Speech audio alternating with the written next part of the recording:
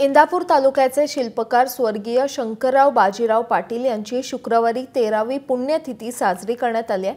सालाबादप्रमाणे यावर्षी देखील इंदापूरमधील आय कॉलेजच्या भव्य प्रांगणात कर्मयोगी व्याख्यानमालेचं आयोजन करण्यात आलं होतं.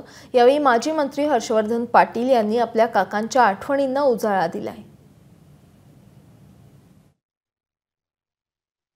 आहे नैतिक अधिष्ठान ज्याला म्हणतो आपण ते भाऊंच्या रूपानं आज तुम्हाला सर्वांना पाहायला मिळालं. आणि आम्हाला आनंद आहे. मी त्यांचा पुतण्या म्हणून बोलतो अशातला भाग नाही. पण पांडे साहेब आम्हाला आनंद आहे की एका छोट्याशा बावड्यासारख्या गावामध्ये जन्मलेला एक सामान्य शेतकरी कुटुंबातला मुलगा स्वतःच्या कर्तृत्वानं दिल्लीच्या पार्लमेंट पर्यंत जाण्याचं काम कुणी केलं असेल तर ते भाऊंच्या रूपानं झालेलं आहे. याचा राष्ट्राभिमान आम्हा सर्वांना आहे.